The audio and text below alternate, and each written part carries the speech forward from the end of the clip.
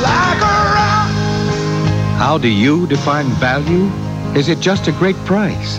Or does value mean getting a truck with the best mileage, the best exterior corrosion protection, the best resale value, and more standard horsepower than Ford? That's the way Chevrolet defines a rock-solid value. And right now, there's no finer example than the Chevy CK. Chevrolet, the most dependable, longest-lasting trucks on the road.